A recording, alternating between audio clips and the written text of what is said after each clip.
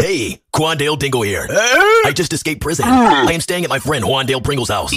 As I was running away from cops, I fell and scraped some of my foreskin off. A guy named Garfield Jensen bent me over in the shower while I was in prison. What are you doing? My baby mama Shaniqua Anderson told me to pay child support, so I gave my baby to creepy old guys.